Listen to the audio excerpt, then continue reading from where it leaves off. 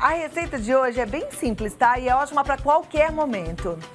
Ela é rápida, ela é prática e ela é deliciosa. A gente vai aprender a fazer uma cebola empanada.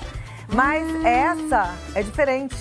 Eu digo que ela é completa porque ela é recheada de carne e queijo, gente. Imagina que delícia.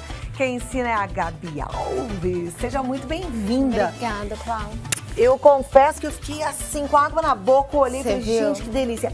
Mas quando a gente olha, a gente nem pensa que é uma cebola, né? Não parece. Não parece. Todo mundo perguntou, é um salgadinho? O que que é? Não dá pra saber, o segredo é só quando abre mesmo. Que show! Vamos aprender a fazer? E é super simples, viu, Cláudia? Então, bora é aquela lá. receita, quem nunca Atenção cozinhou, aqui. consegue. Então, se você nunca cozinhou, vai, vai fazer. Se você cozinhar muito, vai tirar de letra. Vai tirar Mas de vai letra. Gostar. Receita boa.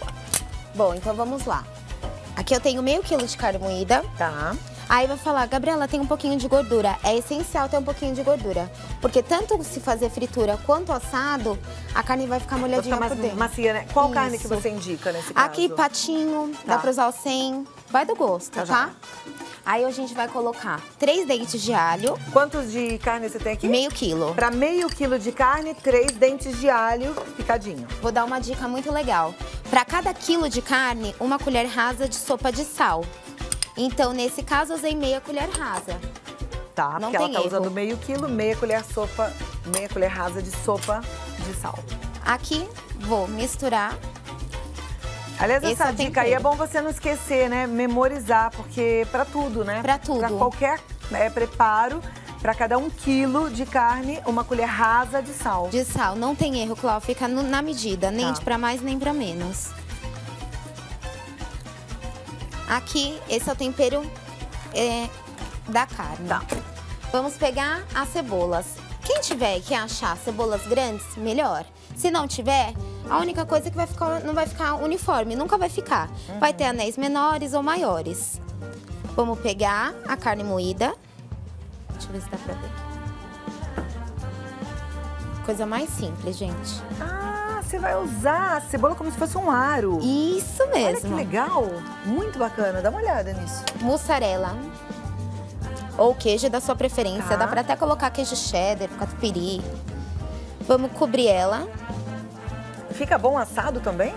Eu fiz assado. Ah, você fez assado. Fiz. Que joia. Esse que As tá duas assado não, Esse né? é o frito e fiz a opção tá. assada. As duas dão super certo. É isso daqui, gente. Ai, minha cebola estourou. Vamos pegar um palitinho, vão passar, prender a cebola e rechear. Mas não tem erro. É a coisa mais simples. Dá pra rechear com escarola, com queijo. Eu gosto Gente, bastante. Sensacional, que receita boa! Dá pra fazer de frango Olha, moído.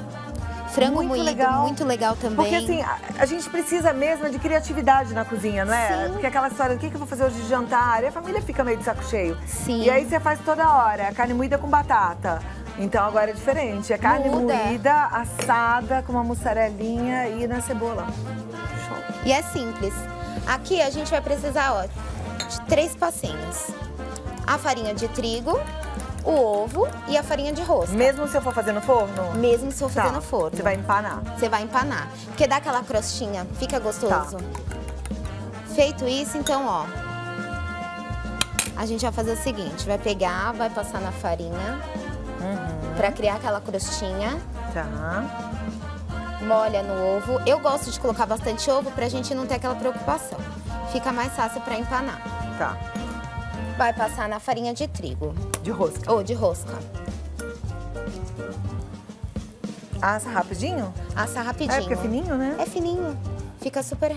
Aí dá uma, uma untadinha na forma com um pouquinho de azeite. Fica bem legal. Gente... Sensacional. É isso daqui. A dica também para que eu dou. Quem vai fritar o óleo, como tem excesso de farinha, ele vai queimar, aquela, fica aquela farinha queimada. Para não acontecer, você coloca um dente de alho cortado no meio com casca. A farinha não queima no óleo. E você faz toda a fritura e no final não queimou nenhuma farinha. Que joia essa dica. Fumaça. Sempre, então, que a gente for fazer, mesmo que seja um salgadinho. O que for. Coloca dente de alho com casca e tudo, corta ele no meio e deixa frigideira. Isso. Não queima Bacana. a farinha. Gostei. É muito fácil. Gabi, você falou de frigideira, eu lembrei que eu preciso dar um recadinho ali, claro. mas segura aí que eu volto Ótimo. pra passar seus contatos. Aliás, vou passando também. E a gente vai... Isso mesmo. Experimentar. Ó, a Gabi Alves, ela tá no Magali Delícia. Ela faz marmitinhas, viu, gente? Quem tá Todos querendo dias. uma pessoa bacana pra cuidar da alimentação, presta atenção. Ela faz tudo muito gostoso. Magali Delícia. Entra no Face ou no Instagram. Ou encomenda pelo WhatsApp no 11 95 122 7666. Deixa eu voltar lá nesse momento que eu gosto. E quem é que não gostaria de estar no meu lugar nessa hora? Não é verdade? Não é? Você untou a forma? Eu passei um pouquinho de azeite só Tá. entre aonde a gente coloca e coloquei pra assar. Ficou douradinho, gente. Tá crocante. Tá pronto. Não tem erro. Ah, tem uma ali já, né? Já. Então, vem cá, ó aqui.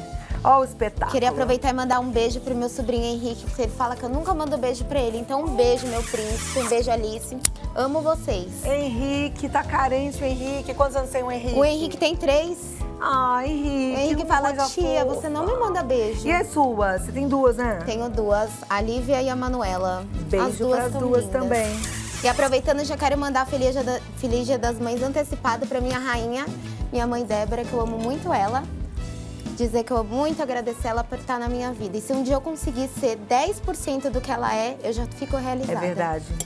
Que nem eu penso também. Olha aqui, gente, deixa eu mostrar só uma coisa pra vocês, ó. Primeiro que ficou bem sequinho, foi no forno, tá? Tá bem sequinho. A casquinha realmente faz toda a diferença, né? Faz, o creque creque não tem. E amanhã vai ter essa receita, viu? Eu vou estar vendendo junto nas marmitas que eu vendo todos os dias. Amanhã vai estar junto no cardápio, então quem O quiser. sabor tá ótimo. Não é gostoso? Não fica nada a desejar. Tu não fala, é pouquinho tempero na carne, mas é o, é o que precisa. É bem pouquinho mesmo. Nossa, É. ficou muito bom. Comer mais um pedacinho aqui. Hum. É uma delícia. E é assado, então já come sem preocupação, né? Bom mesmo. Que delícia! Eu vi que você pôs um molinho. É, eu fiz um vinagrete de cebola roxa com pimenta dedo de moça. Uhum. É muito legal. E eu tempero ele, depois eu vou postar até no meu site que Deixa todo provar. mundo pede. Ele fica uma delícia. Imagino. Com a carninha, né? É, com a carninha, combina super. Hum. Não é gostoso? Nossa, que delícia. Eu vou postar, já me pediram, eu esqueci. Hum. E qualquer dúvida, gente, é só me chamar, viu? Amei. Bom, né? Bem temperadinho. Hum, cheirinho verde. Hum. Gabi Alves, no Magali Delícia. No Instagram tudo junto, Magali Delícia. Isso. E o Zap, 11 95 122 7666. Pode encomendar a barmitinha Por com ela, favor. porque ela arrasa. Obrigada, Cláudia. Até a próxima. Até a próxima. Tô esperando mesmo, não demora. Você deu beijo já do Dia das Mães, mas ainda faltam três semanas, não? Ou duas só? Duas, né? É duas? É, sem ser esse domingo o outro. É. Já tá aí.